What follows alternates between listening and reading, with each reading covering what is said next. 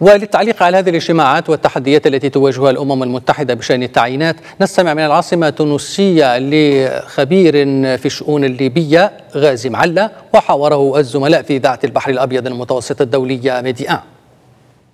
لابد من الوصول إلى نتيجة قبل يوم خمسة سنين يعني خلال أقل من أسبوع أو بالتاريخ اليوم وهذا وقت قصير والضغط سيكون كبير وكبير جدا وبالتالي العملية صعبة ومعقدة، العملية ليست مستحيلة ولكن صعبة وصعبة جدا.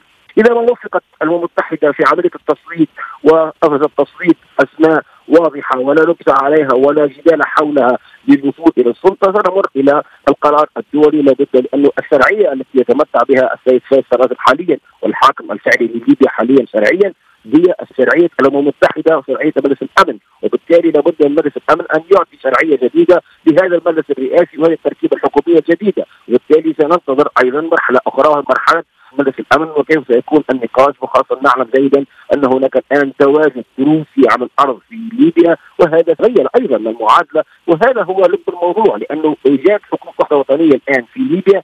الهدف الأساسي منها هو توحيد المؤسسات الوصول الانتخابات ولكن المجتمع الدولي يحرص وخاصة أمريكا والدول الأوروبية الغربية على أن تخرج كل هذه القوات الأجنبية سواء كانت تركيا روسيا أو مرتزقة.